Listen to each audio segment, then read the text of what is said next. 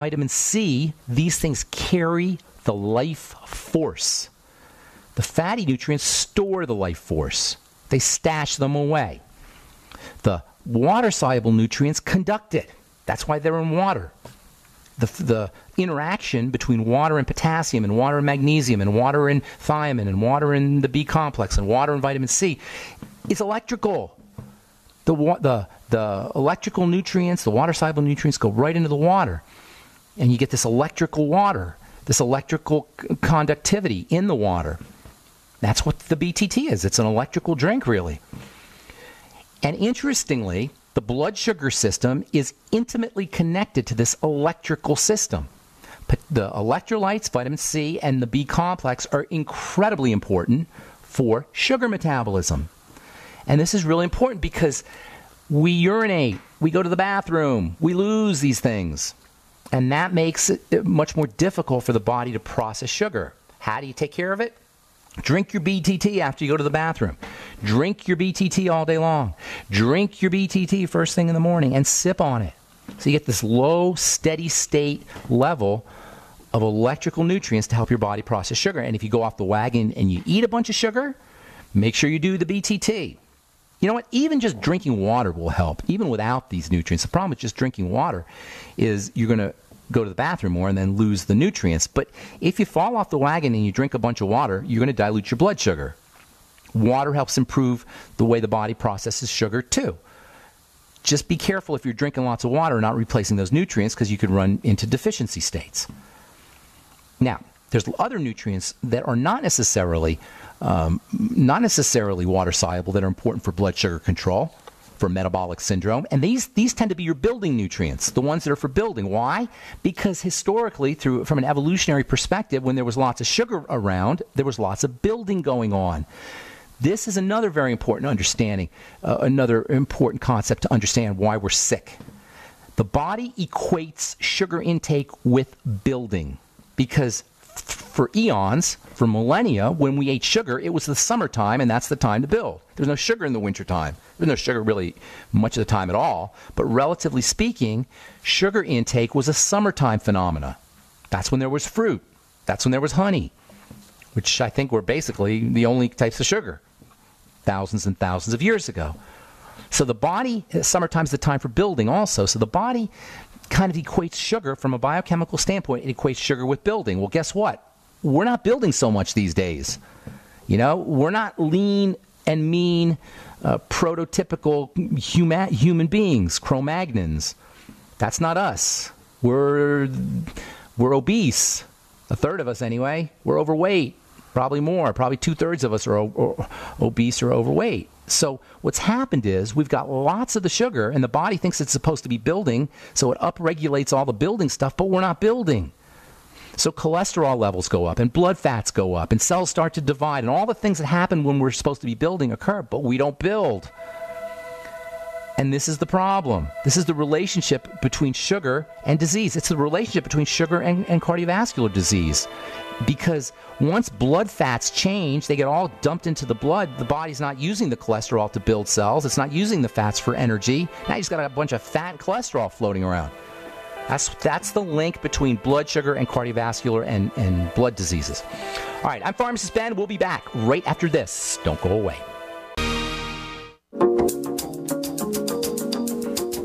Okay, we are back on the bright side, and we do have lines open for you at 844 236 6010. 844 236 6010. We're talking metabolic syndrome, which is an insulin resistance problem that affects one out of three people, they say, probably more.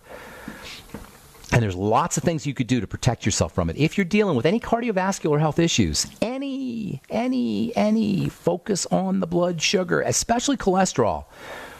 And I don't mean especially cholesterol, but here's the thing about cholesterol. Yeah, cholesterol sticks in the blood in blood vessels, and when you have too much cholesterol floating in the blood, that's not a good thing. But the question is, why is this happening? Not how do we shut it down? This is absolute insanity, folks. To shut down the cholesterol system of the body is biochemical, medical, therapeutic insanity. It's crazy if you know anything about how cholesterol works and how the body works. I'm not beating anybody up for taking their statin drugs because we don't know any better. Because it's the blind leading the blind. The doctors don't know any better. Do you know your doctors are getting their advice who, where they're getting not all doctors, but many doctors are getting their, their medical advice from, where they're, they're learning about health from, from drug companies, from sales reps. This is a scandal of epic proportion, and it doesn't have to be. In terms of metabolic syndrome, restricting uh, blood sugar, uh, lowering blood sugar, going into uh, as much as you can restrict your intake of blood sugar spiking foods, the foods we talk about all the time, the chips and the cereals and the and the breads and the pastas and the potatoes and the fruits and the fruit juices and the desserts. All these foods were hardwired to love because there didn't used to be a lot of these foods around, and you, there's a need for sugar. Sugar is one of the ways we make serotonin, by the way. Insulin uh, insulin and serotonin are, uh, are, are coping hormone, which is what serotonin is. It's a coping hormone. It's a daytime hormone. It's a hormone that lets us adjust to the, the, the vicissitudes, the ups and the downs of life. That's a serotonin issue. Serotonin is not a happy hormone, it's a, a coping hormone. Depressed people don't get happy when they take serotonin reuptake inhibitors, they can just cope better. Well, it turns out that the more sugar and insulin we eat, the, the more serotonin we make, up to a certain point. Serotonin deficiencies, because we're all stressed out, is very, are very common. So, one of the reasons why we're addicted to sugar and insulin is because we're self medicating to make our serotonin go up. That's why a little bit of sugar is important. And by little bit, I'm talking complex sugars, not necessarily super sweet sugars. I'm talking vegetable sugars. You know, vegetables have sugars in them, very important sugars. Vegetables are a rich source of carbohydrates, very important carbohydrates for serotonin, for energy. And, and we do need a little bit of, of sugar. This is what this is where the addiction to sugar comes from. There's hard wiring in the body and the brain to to go ha, have us not be able to resist sugar. Unfortunately, over the last 200 years, our food supply has become very, very dense with sugar. So, restricting the amount of sugar you eat, caloric restriction, making sure you're using your electrical nutrients, your B vitamins, chromium and vanadium. This is one of Dr. Wallach's brilliant insights. Chromium and vanadium. Chromium, in particular, is part of something called the GTF, the glucose tolerance factor.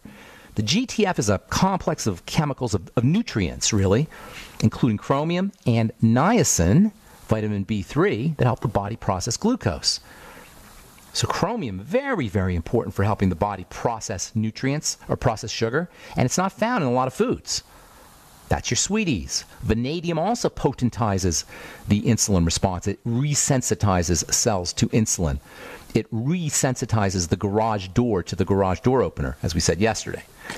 And then there's the fatty nutrients. It's not just the watery nutrients, the electrolytes and the B vitamins and vitamin C. Oh, yeah, vitamin C. Don't forget about that one. That one's just good for everything.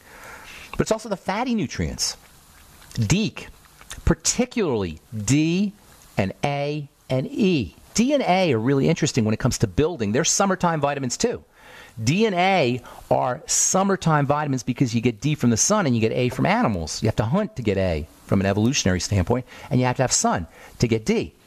A and D are summertime nutrients. They go along with sugar, and not surprisingly, they help you process sugar. And A and D deficiencies are very common as well. And then there's vitamin E.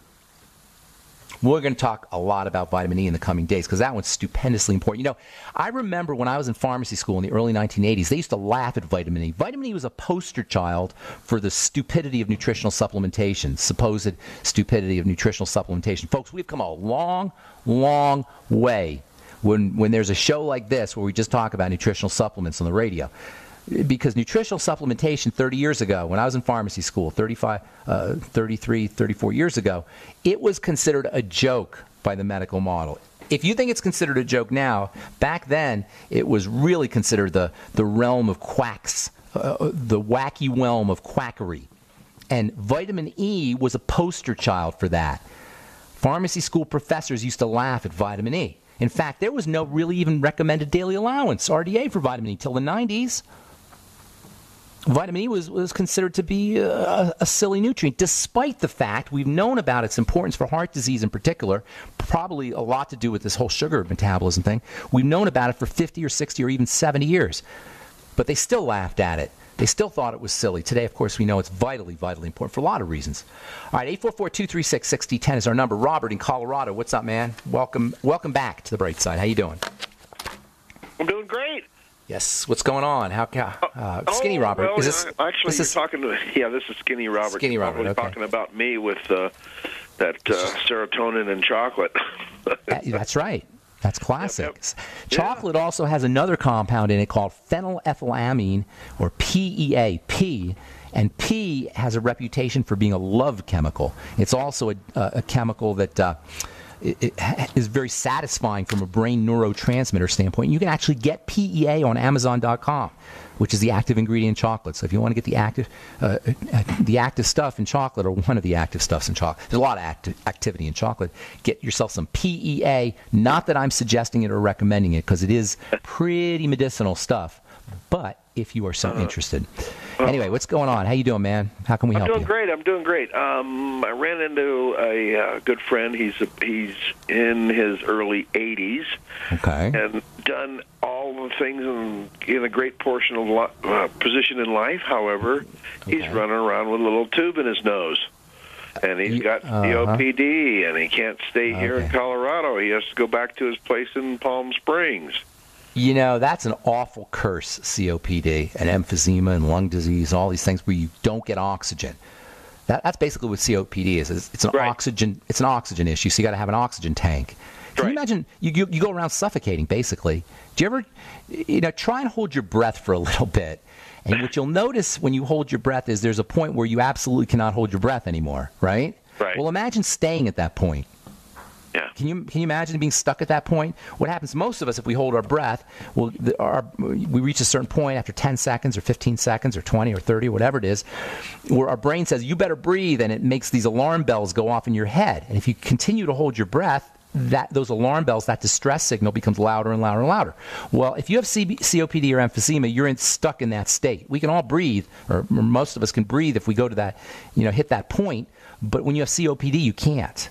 Yeah. Can you imagine that? What a curse that is. And, and, it's funny you said he was successful in all these other ways. Probably he's financially set and all that yeah. stuff. What good does that do you? You know, that's a great. Uh, that's a very very important story or a very important point. Is that we focus on all of these external things to uh, to make to to portray success in our life or to make ourselves feel successful, and then we can't breathe. Robert, don't go away. We'll talk I'll COPD when we come back. All right, I'm Pharmacist Ben. You're listening to The Bright Side. We'll be back right after this with more good health information. Don't go away.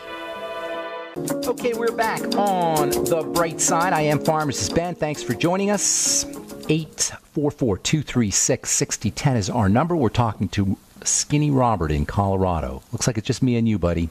Okay. Skinny Robert. So, uh, so isn't that a curse? This guy's got he's got everything. You know, he's yeah. financially set, and you know, probably got great family and great big house, and he's living living the dream, and he can't yep. breathe, and he's suffocating. Yep. Here's yeah. the deal. You know, COPD. Not surprisingly, incidence is incidences of CBD. Uh, the incidence of COPD is increasing. Not surprisingly, here's the problem with COPD. It's as much a blood disease as it is a lung disease. Now, doctors will tell you it's a lung issue and it's not reversible or poorly reversible, is how they put it. And that's because the lungs are damaged. Is, was this guy a smoker, by the way? I don't know him don't know. that well. Okay. Um, well, there's a relationship between smoking and lung damage and inflammation of the mechanics of the breathing process. And that's, you know, that's where doctors typically tend to focus.